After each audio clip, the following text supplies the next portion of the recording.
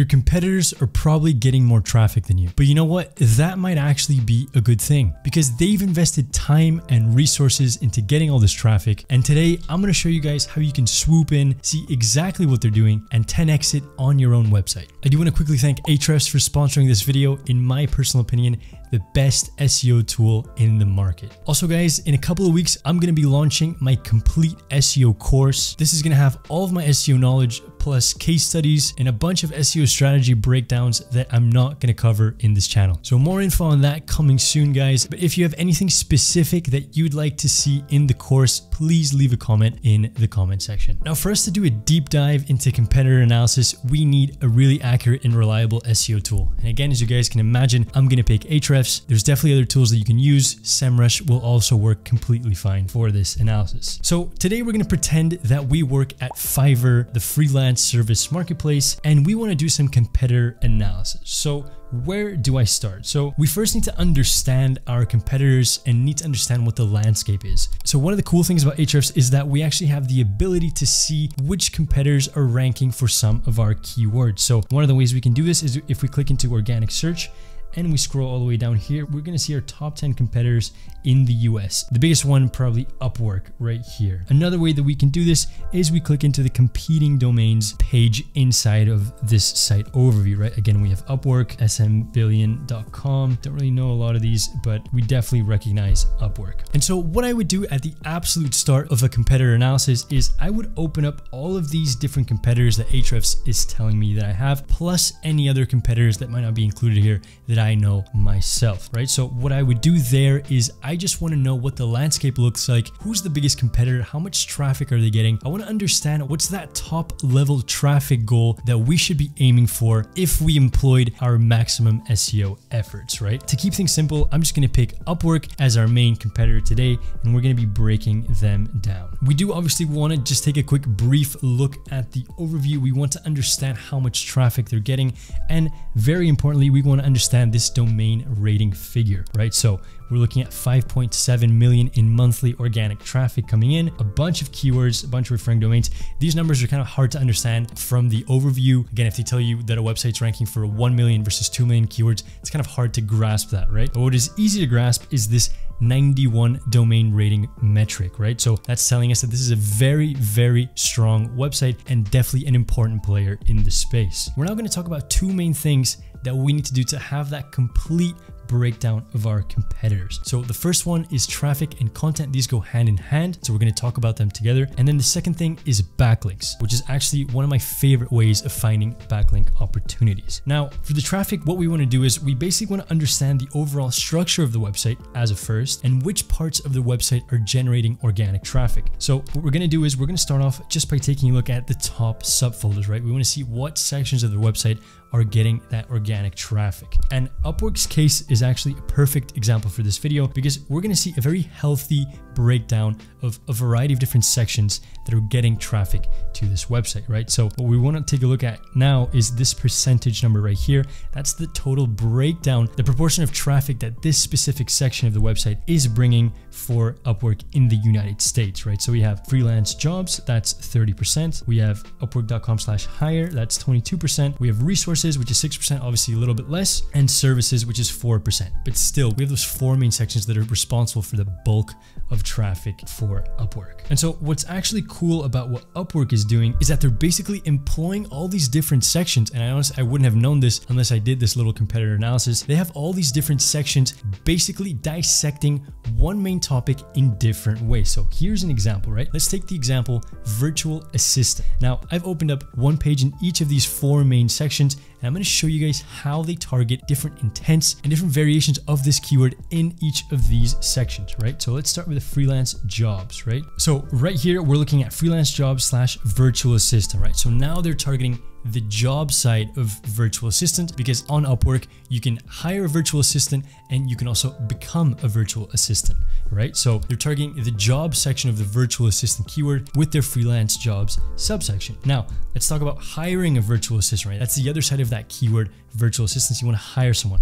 Well, they have their hire section and they have a landing page for all of that where you can scroll through and find someone to hire. What about the actual service, right? That's also a very important keyword, right? Looking up virtual assistant services. Well, they also have a landing page for that where you can basically scroll through a variety of different categories of virtual assistants and find exactly what you need. And then the final thing that they do is they have this section for resources where they basically target keywords with informational intent and they have long form content. Now, this is where we'd stop and we'd consider what we're doing on our website to see if we're breaking down this topic in the same way that Upwork is, right? That's why these competitor analyses are so powerful. We see exactly what they're doing, what's bringing them traffic and what's working for them, and we try and think how we can apply that to our website. So by taking a look at Upwork's four main subfolders, we've just seen how they break down these massive keywords into different subsections and they fulfill all those different subsections and intents with different types of content. A final thing that I like doing before we talk about backlinks is I just like to check the keywords and the top pages, right? Ideally we check both, but just for the sake of this video, I'm just gonna look at top pages. It is a very similar report. And what I wanna do here is, I'm just gonna click into this and just set a few filters. I'm gonna set United States to simplify things and I'm gonna add a filter where we can remove the Upwork keyword so we don't, so we're not bombarded by just the brand keyword. What we want to do here is we basically just want to scroll through some of the top pages, some of the top keywords as well here. We can see them on the right and just see if we've missed anything from the content that we're creating, right? So we can just scroll down, see if there's anything different. Again, we're looking at a featured snippet here for how to become a virtual assistant. So it's that long form content. And there's actually something that kind of shocked me here that I didn't realize Upwork was creating content for this, but when you think about it and when you see the content now, I'm gonna show you guys in a second, it actually makes perfect sense, right? How much does it cost to build a website? Well, there are people on Upwork that build websites, and there's plenty of projects of people hiring web developers and web designers building websites on Upwork. So why wouldn't they create a guide on how much does it cost to build a website, right? If we actually check out this content, it's a phenomenal guide of how much it actually costs to build a website.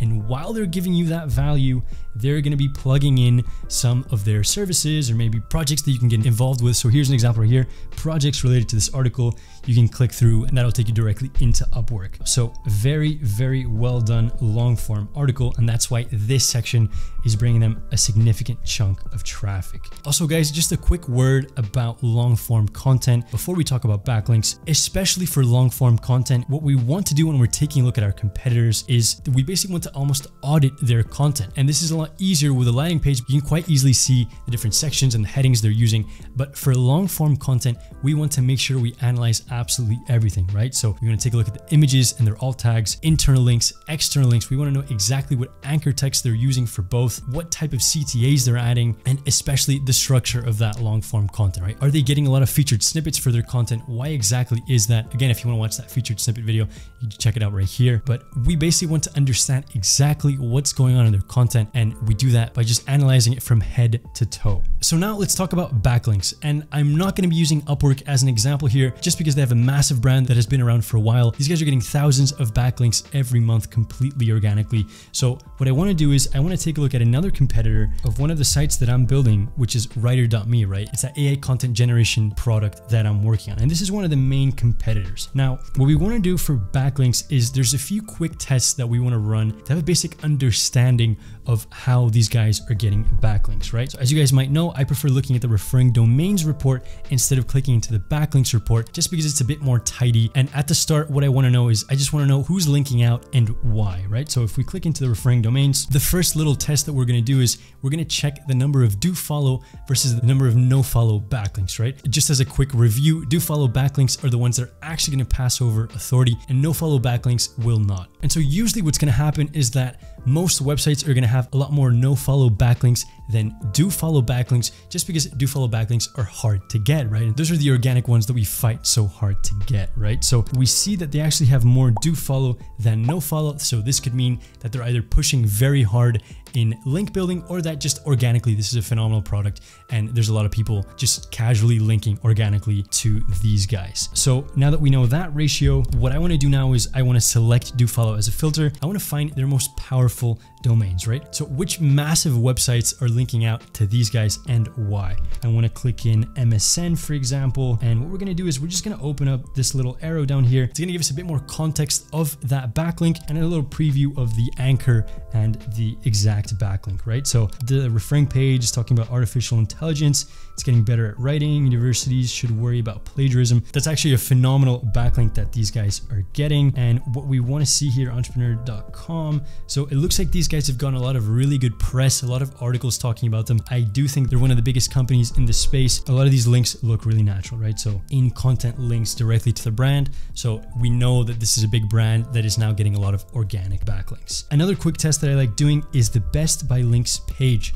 So what this page is going to tell us is what are the pages that have generated the most links organically, right? Those will be the most powerful pages that will rank the best. Most of the time, we're going to see that the homepage is the one with the most referring domains with the highest URL rating. So that's the strength of this specific page. But if we scroll down, we're going to see, for example, song lyrics generator. This is getting a decent amount of referring domains, a 26 uh, URL rating. That's pretty strong. So we definitely want to do a deep dive into that page. What are they, are they doing something different that maybe we're not doing? Do we even have this page? How can we recreate the results they're getting on our website, right? This is the question that we need to be asking ourselves all the time while we're going through with this competitor analysis. So we can scroll through this and just see and see if there's anything different that we're not doing. And the final thing that I like doing before I do the full dive into backlinks is I just like to take a look at the anchors, right? The anchor text is the actual text on top of that link. It's giving Google that extra message of why people are linking out to this website, right? We're gonna see some pretty natural anchor text ratio. So a lot of brand,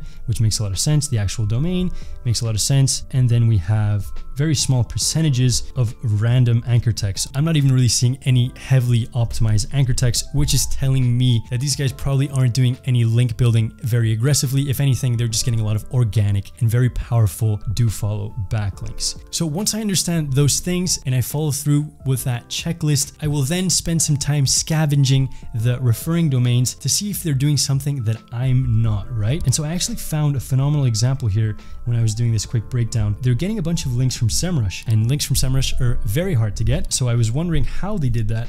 And it looks like they now have a SEMrush and writer integration, right? And now what this has done is this is giving me a bunch of ideas of partnerships that I could work on, not only for getting backlinks, but for the business that we're building, right? Are there any digital marketing softwares that we could maybe partner with, just like these guys are doing? From those partnerships, we can build relationships and relationships will eventually lead to backlinks, right? So imagine doing this exact process for traffic, for content, and for backlinks with a bunch of your competitors. You're going to move your SEO strategy forward very, very quickly. If you want to see more competitor analysis, you should check out this playlist where I break down really successful SEO strategies from big companies like Canva, Airbnb, Shopify, so on and so forth. Guys, there's to be a lot more info on this course that I'm making really soon. Thanks for sticking till the end, guys. See you in the next one.